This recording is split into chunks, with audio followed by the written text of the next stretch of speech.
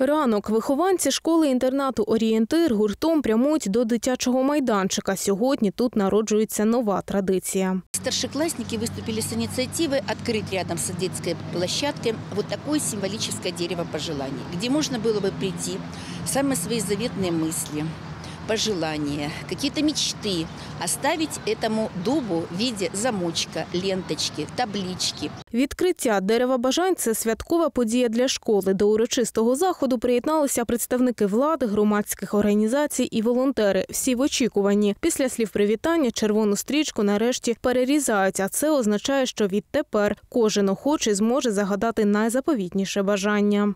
Я думал о том, что это праздник для всей школы, что мечтать это очень Важно, что вот эти дети, которые слепые, они о многом мечтают, мы общаемся, нам приходится с ними иногда общаться, и они мечтают. У них есть мечты, очень жалко, что многие не могут сбыться, но главное мечтать, надеяться, и все сбудется.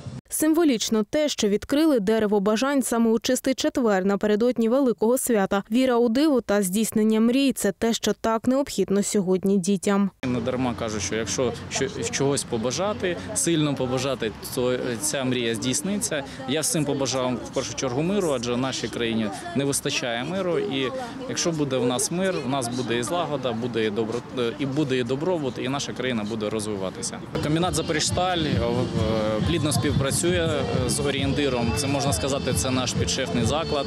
І як депутат обласної ради більше будемо уваги приділяти цьому закладу. Поки на дереві бажань потроху з'являлися стрічки, вихованці школи вирішили здивувати гостей масовим флешмобом. Всі учні разом танцювали під супровід українських пісень.